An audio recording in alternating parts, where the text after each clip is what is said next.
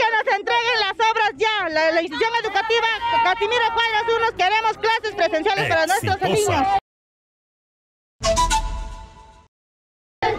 Muchas gracias, información en vivo. Hemos llegado a la institución educativa Casimiro Cuadros del distrito de Caima, donde los padres de familia están exigiendo la culminación de la obra de esta institución educativa. A ver, señora, ¿qué es lo que están exigiendo ustedes con esta protesta? Queremos que nos entreguen las obras ya. La, la institución educativa Casimiro Cuadros Unos queremos clases presenciales para nuestros niños. O sea, sus niños no pueden estudiar porque se han retrasado en las obras. Sí, nuestro, por culpa del retraso de esta obra, nuestros niños no presenciales, no pueden venir nuestros niños. Es una indignación muy grande mi persona. Como madre me indigna todo esto porque ya tenía que entregar el 26 de diciembre y hasta cuándo vamos a estar con los, con los virtuales, hasta cuándo queremos que nos entreguen ya nuestra obra y nuestros niños asistan presenciales. ¿Y qué dice? ¿Por qué no les entregan? ¿Por qué ha habido demoras en el colegio? Ha habido demoras, nos dicen en el colegio que ha habido demora por lo mismo de el contratista no dice por el pago, retraso de pago a la región.